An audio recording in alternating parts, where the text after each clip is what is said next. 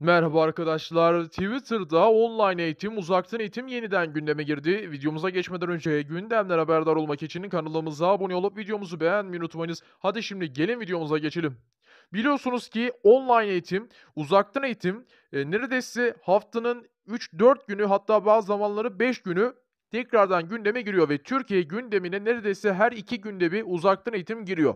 Baktığımızda yine hashtag ya online ya canımız hashtag ile öğrenciler, veliler bir hashtag açtı ve bu hashtag'e önemli katkılar bulundu. Yaklaşık 50 bine yakın hatta 50 bini de geçik tweet atıldı bu hashtag'e ve birçok öğrenci ve veli burada tepkilerini e, belirtmiş oldu. Baktığımızda bu hashtag'ler ne işe yarıyor diye sorabilirseniz şunu belirtelim ki tabii ki bakanlar açıklıyor her seferinde. Yani bu hashtag'lere biz dikkat etmiyoruz. Eee, tabii ki hashtag'lere göre yönetmiyoruz diyor ama eee, tabii ki milletimizin de eee, ne gibi bir isteği olduğunu biz bu hashtag'ler ile anlayabiliyoruz eee, diyor aslında bakanlar. Bundan önce eski Milli Eğitim Bakanı Ziya Selçuk biz hashtag'lere göre yönetmiyoruz ama eee, milletimizin de ne gibi bir istek istediğini bu şekilde görebiliyoruz demişti.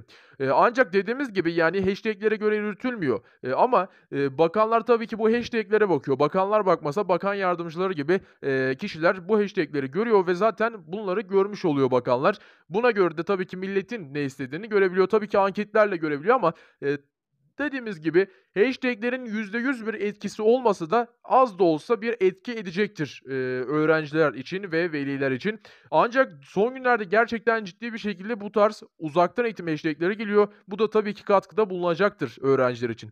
Videomuzun sonuna geldik. Kanalımıza abone olup videomuzu beğenmeyi unutmayınız. Görüşmek üzere.